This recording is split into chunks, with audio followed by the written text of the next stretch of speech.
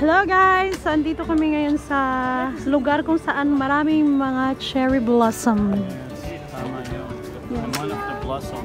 Hi, niece! Hi, Hi! mommy's flower on the tree. Yeah! It's so nice. Let's go there. Flower on the tree. Tree.